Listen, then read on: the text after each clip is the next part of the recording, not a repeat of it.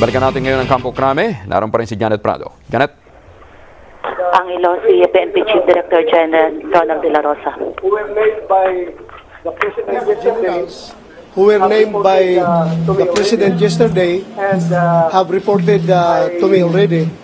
and, uh, I referred them to the NAPOLCOM for investigation.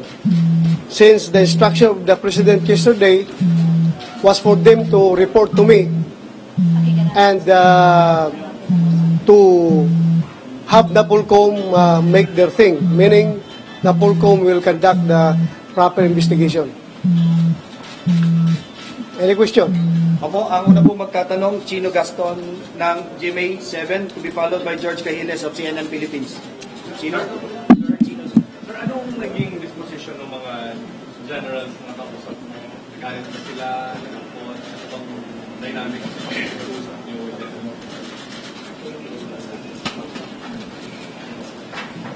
Nalungkot. Malungkot sila. Nagalit ba sila, sir? Parang ano yung nagsasabi sila meron? All other uh, details sa aming usapan is amin na lang yun. Basta na- malungkot sila. We have the question from George Cahiles, uh, CNN Philippines to be followed by Franz Noguera of TV5. George? Sir, ah, yung circumstance ba nung pagkadawit nila doon sa illegal drugs na pag-usapan nyo? Mga, kung, kasi hinihingi nila sana na tukoy kung sino yung mga individuals na nagbigay ng information because ang allegation nila ay na misinform ang presidente tungkol dito sa pagkakadawit nila dito sa illegal drugs. Hindi namin napag-usapan. Basta lahat naman kami, we agree that uh, the information is uh, coming from the President. So, yun. Sir, follow up na lang po. Uh, what will happen to them now? Uh, after, well, aside from the investigation, ano bang magiging uh, uh, proseso? Uh, Magre-report pa rin ba sila sa inyo every day to make sure na mag-a-appear sila sa mga hearings sa gagawin ng NAPOLCOM o kung ano proseso? Since we referred them already to the NAPOLCOM, then they will be reporting to the NAPOLCOM for the investigation. Franz Noguera, TV5 to be followed by Aya Macalma, PTV4. Sir, masama yung loob nila kahapon, biglang in-announce yung mga pangalan nila. Pero nung pagharap nila sa inyo, kumusta po yung mood nila? Nasabi ba nila yung sama ng loob nila? Lalo na si General Nino na mangayak-ngiyak pa kahapon. Kaya nga, malungkot sila. Malungkot. May sama pa And they wanted to explain their side. And I, I listened to their side. Sir, di, uh, si General Nino sabi niya parang gusto na niya mag-early retirement. Ano nga, nasabi niya ba yun sa inyo? Kayo ba may na-advise sa kanila? Uh, yung aming mga usapan doon sa lobby sa purely intimate and personal, I cannot uh, discuss it in public. Amin na lang yon yung aming personal uh, relationship. Ang amin na lang, ako na akin na lang may bigay sa inyo is yung aming official uh, relationship as uh, uh, officers of the Philippine National Police. Yung aming personalan is uh, amin na lang yun. Sir, any advice to them kahit other class kanila, mga outer class po sila? May advice to them, Meron ka masasabi sa kanila, any message, kahit uh, konting uh, ano lang, share, mo- ma-share mo lang sa atin. Yeah, my advice to them is uh, face the music. You face the music. Aya Macalma, Sir, um, did they the investigation? Yes. They assured me that they will uh, uh, give their 100% uh, cooperation to the investigation that will be conducted by the NAPOLCOM.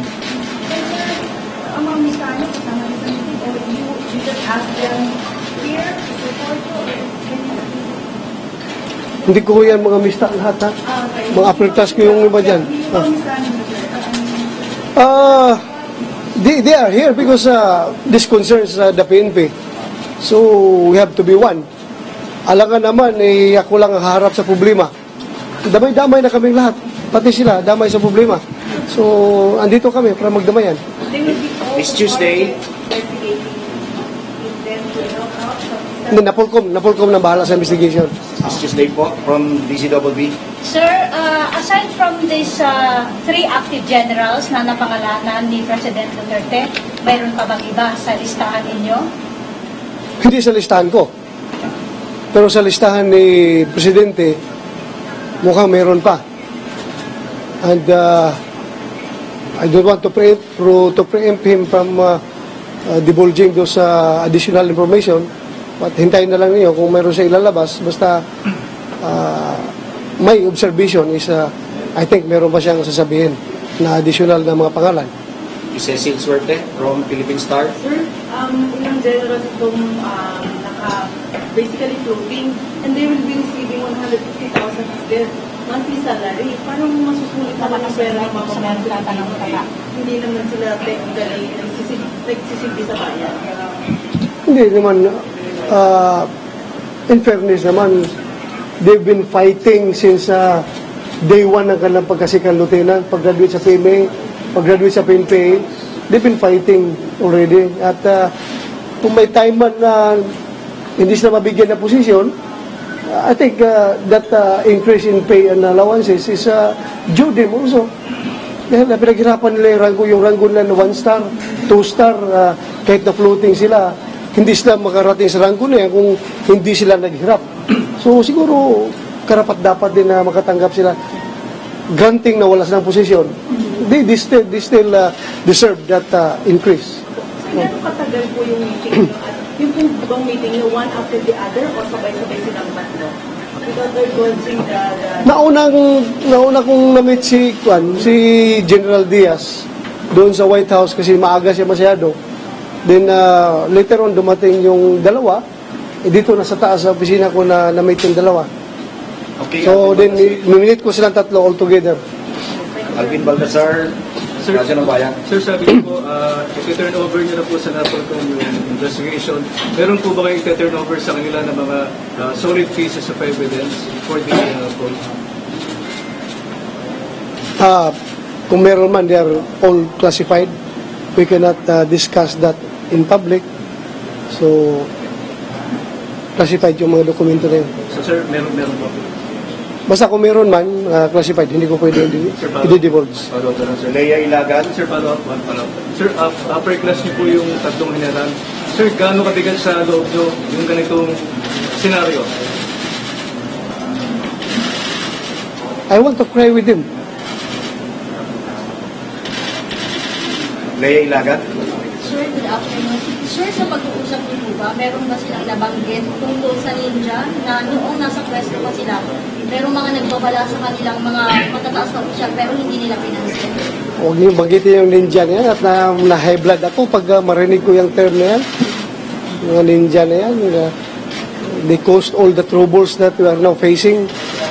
Kaya I hate, I hate to to hear that term. Pasensya ka na, ha? sorry. Hindi ako galit sa'yo. Galit ako sa ninja. Okay, Makapagal. Sir, gusto po, Okay, follow up, Ms. Leia. Sir, sa 32 na tinanggal sa NCRPO kasama yung diet ng Quezon City, hindi ko nababanggitin yung term. Meron bang member doon? Hindi ko pinanggit yung term. Kasi mga yung blood lang. 32, pinatapon mo kanina na. Alam mo naman yan eh. Naman ko pa bang... uh, Basta, ito lang masasabi ko. Pag take out namin as members of the Philippine National Police, we swear that we can be assigned anywhere in the Philippines. So, that's it. If their services are needed badly in uh, Basilan, Hulo, Tawi-Tawi, Maguindanao, they can be there anytime. So, wala pong no question about that. They can be assi- assigned anywhere. Ako nga, from Davao, na, nakarating ako dito. So, ganun lang kasimple yung buhay namin. Otherwise, umalis na sa serbisyo kung ayaw nila ma-assign sa ibang regions, sa ibang province. Dahil hindi naman sila nag-swear na to be a policeman of Quezon City only. So, they swore to become policemen of Philippine National Police. Sa buong bansa yun. Okay. So, sir, kasama na dito yung 20 na binabanggit mo dati. Ah, kami lahat, 160 strong members of the Philippine National Police can be assigned anywhere in the Philippines. So kung ano may transfer man, that's normal in our uh, system. Ms. Maan Makapagal, ABS-CBN. Sir, totoo bang nakatulong yung impormasyon mula sa U.S. Drug Enforcement Agency? Yan, isa yun sa mga nagamit ng ebidensya sa kanila. As I've said, kung meron mang ganun, hindi ko talaga pwede disclose sa inyo. Kasi oh, we don't want to preempt the investigation being conducted by Napolcom.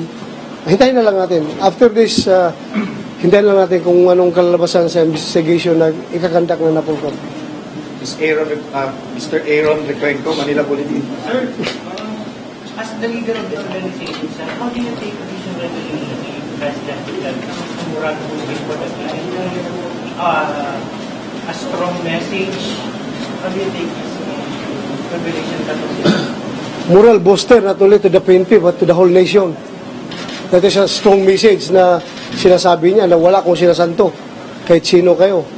Sabi nga niya, kahit anak ko, pag involved sa drugs yung anak ko, patayin ninyo. Yung anak ko mismo, sabi niya.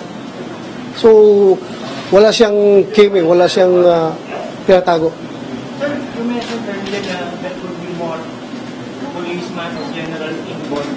So, is the PNP also providing intel or counter intel to the President about the involvement The President can have the access to all intelligence and information na nakakalap dito sa Pilipinas at sa ibang bansa. He is the President. Yung kanyang information hindi lang nanggagaling sa PNP, hindi lang nanggagaling sa ISAP, hindi lang nanggagaling sa ah, NICA, hindi lang nanggagaling. Lahat ng mga government agencies ay may kanya-kanyang agencies, ah, intelligence ah, departments, di ba? So, the President has all the access to do, all those ah, information. So. Yes, kung uh, kung hindi kung kung merong mag-volunteer na foreign counterparts, we, we we've been sharing uh, intelligence with our foreign counterparts. So, kung merong mang papasok, tatanggapin namin if it is very helpful to us. Sir, one more question. Yung tatlong generals, did they ask uh, usap or independent? As I've said, yung intimate na usapan namin, amin na lang yun. Hindi ko pwede divulge sa inyo. Ah, hindi ko masasabi sa inyo. Henry Atulan, DCMF. Sir, ah, yung tatlong general ba yun, sir? Sila din ba yung ah, tatlong general na binabanggit niyo noon na sangkot talaga sa illegal na droga? Yung tatlo na yun. Yes, sir. Yung may nabanggit... Ang, ang nabanggit ko lang is yung binanggit ni Mayor. Ano yung presidente, di ba? Sabi ni presidente, mayroong tatlo. Alam ka naman sabihin ko, wala, tatlo. Eh, nandyan talagang tatlo, di ba? Presidente na nga nagsabi niyan eh. Eh, who, who am I to counter the statement of the president? Nandyan yung tatlo. Eh, hindi pa nga tatlo, lima pa nga lumabas, di ba? Wala dun yung meron ka. Ah, hu- huwag mong hulihin. Basta may coming pa, may coming. May coming pa. Sir, paano yung may? Ha? Okay, uh, Second wave, second wave pa ng mga yan, For all we know, ha, alam ninyo, ang listahan ni Presidente, hindi lang hanggang star rank, hanggang senior soap, merong hanggang P1 pa nga eh. Kadami ng listahan niya. Hanggang P1 pa, meron siyang listahan kung sino yung mga involved. Sir, gano'ng mahaba yung listahan? Ano, ilang pages yun. Sir, kailan Marami. announcement yung next wave? Si Presidente na tanongin natin. Ang mahirap kasi hindi kayo hinaharap ni Presidente. Ako tinatanong ninyo, harapin niyo siya. Sir, literally ba, meron tayong patong-patong na papel na laban sa tatlong generals? Like literally, naka-black and white. As I have said, uh, mga classified uh, matters yan. Hindi ko pwede discuss inyo. Last question will come from Janet Prado, DCEC. Sir, sabi nyo, um, malungkot sa taas. Paano po natapos yung usapan? Paano po nat- nagtapos yung meeting nyo with the three generals? I give them the assurance that uh, kahit na upper class ko sila, I am their father right now. So as the father, uh, I have to look for their welfare. Kung meron man silang kasalanang nagawa, then uh, they have to face the music. Huling, huling pahabol, huling pahabol po. Sir, may naiyak sa kanila sa tatlo. Ha? May naiyak po. Very intimate na yan, tama na. Baka, mga- baka tutulo yung luha ko. Baka ako iyak pag uh, ako pinipilit ninyo. Sir. Generals, alam ko retired na po sila, sir, pero syempre, Yung dalawa? allegedly, they, they deal with, you know, drug industry while under the PNP. Anong plano naman po for them? Ma, wala na, sa totoo lang, wala na akong control sa kanila, wala akong jurisdiction over them dahil retired na nga sila. At at least makipagkita sila sa akin at uh, makipag-discuss or what, eh, wala pa namang kaso na na-file sa kanila, so I can entertain them. Pero si President Duterte, sir, may marching orders po ba siya? Have, has he told the OJ, for example, to launch a probe sa dalawang retired general? As I have said, the instructions were given to the Napolcom. So Napolcom nang bahala po doon. Hintayin na lang natin yung results sa Napolcom. Sir, clarification lang, sir, kasi sabi nyo, tinurn over nyo na sa Napolcom, yung tatlo. Meaning, hindi na po ba magre-report sa inyo everyday dahil technically nasa ilalim po everyday yung tatlo ah, since voting na po sila. Anytime I need their presence, I can make them report to me pag kinakailangan ko. That's uh, one way of accounting them. But since nga, alangan naman, inibestiga sa sa Pulcom, papareporting ko pa dito, masyado matraffic yung galing dito papunta doon, eh, gaganong-ganon sila. So, sa Napolcom na po sila everyday magre-report. Depende sa Napolcom kung how how open is their uh, investigation, how Sir, safe to say, emotional yung naging pag-uusap nila. Yan, dyan na naman. Pinabalik ko na. Gusto mo talagang maiyak ako eh. Huwag mo ko maiyakin. Huwag mo ko maiyakin. Last, last na po, last na po. Sir, ano yung long-term effect nito? Tingin ni yung mga na President Duterte kapag kailangan lang? Napakalaking epekto ito sa amin, di ba? Meaning, ah, habang si Presidente Duterte ang presidente ng Pilipinas, walang pwedeng magtatago sa kanya na kalukuhan. Talaga, ididibol sa ididibol siya yan. Yung nga, sinasabi ko nga sa'yo, na sabi niya, kahit na yung anak ko, pag yan ay involved sa droga, patayin ninyo. Yan yung sabi niya sa mga pulis doon sa Davao. So wala siyang sinasanto. Maraming maraming pong salamat. Presidente dun sa ebidensya. At, at parang kasi ang, ang duda nila, baka walang ebidensya nung, nung in-announce eh. Oh, Ano, discuss Wrong information. na, na, Presidente na yan, si Mayor, si Presidente is a good lawyer. He has been a prosecutor for uh, a very long time. He has been a mayor. So, hindi po siya magsasalita kung wala siyang basis. So, sigurado ako meron siyang basis. So, wala naman tayong power na para ikumprontahin siya or kalkalin sa kanya kung saan yon. So, he is the president. So, hindi mo siya pwede kumprontahin. At may level. Sinaglit na sa Napolcom yun. Kasi sabi ng Napolcom, maghahamtan sila ng probable cause. I don't know. Napol kung tanongin nyo.